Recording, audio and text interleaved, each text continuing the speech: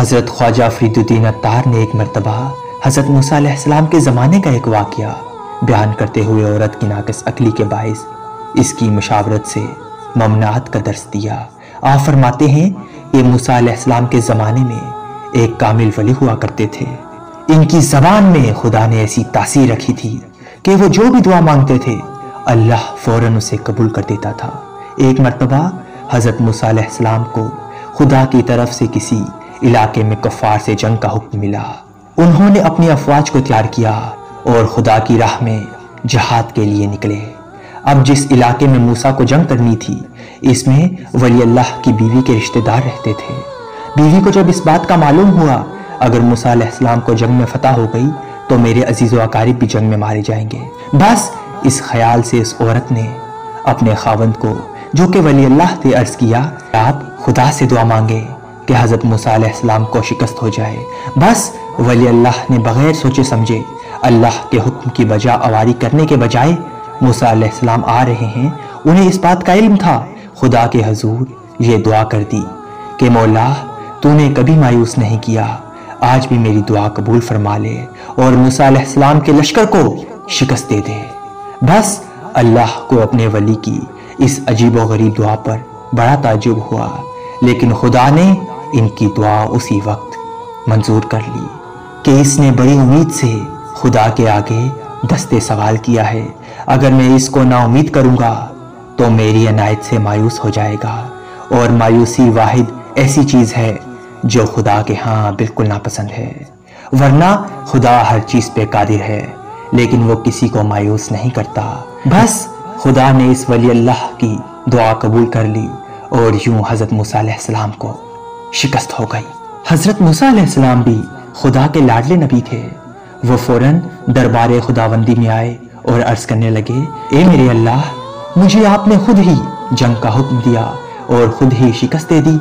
इसमें तेरी कोई मसलियत पोशीदा है? अल्लाह ने जवाब दिया, ए मूसा, मैंने ही जंग का हुक्म दिया था, मगर मेरे आगे जब मेरे एक वली ने दस्ते सवाल किया तो मैं नहीं चाहता था कि इसकी दुआ और ख्वाहिश को रद्द करूँ। इसलिए मैंने उसकी दुआ को अपने हुक्म पर तरजीह दी। बस मूसा सख्त गुस्से में थे। उन्होंने खुदा से अर्ज़ की कि अल्लाह, जो तेरा वली, तेरे अहकाम को ही मसनू कर दे। जिसको तेरी खुशनुदी के बजाय तेरे दुश्मनों की रजा मंजूर हो तो तू ऐसे वली से अपनी वलायत और बुजुर्गी छीन ले। बस अल्लाह ताला ने हज़रत मूसा की दुआ सुनी। नाराज़ तो खुदावंद इस वली से पहले ही था कि इस शख्स ने दोस्ती का दावा तो मेरे साथ कर रखा है, लेकिन अपनी बीवी की ख्वाहिश और तमन्ना को मेरे काम पर फोकियत दे रहा है। अल्लाह ने इस वली कामिल से विलायत छीन ली। अब उस वली अल्लाह को बड़ा दुख हुआ। उसने खुदा से बड़ी माफिया मांगी और कई साल रियाजत में मसरूफ रहा, मगर उसकी छीनी हुई विलायत और मुकाम दोबारा ना मिल सका। आखिर एक रोज अल्लाह को उस पर तरस आ ही गया।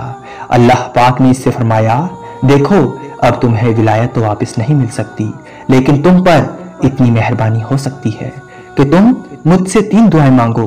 मैं उनको ज़रूर पूरा करूँगा। बस अल्लाह का वो बंदा जो विलायत को खो ही चुका था, यहाँ भी अपनी बीवी के दामने फरेब में फंस गया और गलती से अपनी बीवी को बता बैठा कि खुदा ने मेरे साथ तीन दुआएँ कबूल करने का वादा किया है। अब बीवी ने फ़ौरन पहले अपनी ख्वाहिश मनवाने की कोशिश की और अपने खावन से कहा कि अल्लाह से बात करो और कहो कि वो मुझे दुनिया की सबसे हसीन तरीन औरत बना दे।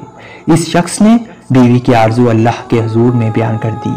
अल्लाह ने उस औरत को दुनिया की हसीन तरीन औरत बना दिया। अब इतफाक की बात कि वहाँ से एक बादशाह गुजर रहा था। इसने इतनी खूबसूरत औरत देखी तो इसके मुँह में पानी भर गया। इसने इस औरत से कहा कि तुम क्या इस बूढ़े आदमी के साथ रह रही हो। तुम्हें किसी महल में राज करना चाहिए। अगर चाहो तो मेरे साथ चलो। बस उस औरत ने बिना कुछ सोचे समझे अपने खावंद को छोड़कर इस बादशाह के साथ घोड़े पर सवार होकर चली गई। इस साबिक वली अल्लाह को बड़ा गुस्सा आया कि इस औरत ने मेरे साथ किस कदर बेवफाई की है। इसके पास खुदा की तरफ़ से दो मजीद दुआएँ मंजूर करवाने की पेशकश मौजूद थी। इसने अल्लाह से अर्ज़ किया ए अल्लाह, इस बेवफा औरत को कुतिया बना दे। हक ताला ने इस औरत को कुतिया बना दिया। अब जब बादशाह ने देखा कि हसीना क्यामत खैज तो कुतिया की शक्ल में तब्दील हो चुकी है, इसने इसको मारकर भगा दिया। अब वो दोबारा अपने आदमी के पास पहुँच गई और सारा दिन घर के बाहर दरवाजे पर बैठी रही। अब घर में बच्चे माँ को याद करके रोते तो वो शख्स बड़ा परेशान होता और बच्चों को रोता सुनकर वो कुतिया ज़ोर से भोंकती। इस सूरत हाल ने इस शख्स का जीना हराम कर दिया। आखिर तंग आकर इस शख्स ने खुदा से अपनी तीसरी बात, यानी ख्वाहिश की कि अल्लाह इस औरत को वैसा ही बना दे, ताकि वो अपनी औलाद को तो संभाल सके। अल्लाह ने वादे के मुताबिक इस शख्स की दुआ कबूल करते हुए इस औरत को दोबारा वैसी औरत बना दिया।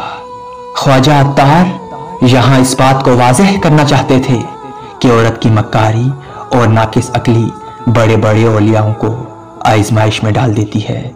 इसलिए औरत के मामले में खुदा से डरते रहना चाहिए और खुदा की पनाह हासिल करनी चाहिए। इस वाक्य में इस खुदा के वली ने औरत की अदनी सी ख्वाहिश पर पहले वलायत बर्बाद कर दी और अपनी रियाजत के बदले खुदा की पेशकश का औरत के हाथों बेड़ा कर कर दिया। अगर वो खुदा से लो लगाता और औरत के मामले में खुदा से पना माँगता तो कम से कम पहली मरतबा नाकामी और बर्बादी के बाद दूसरी मरतबा में ज़रूर कामयाबी होती।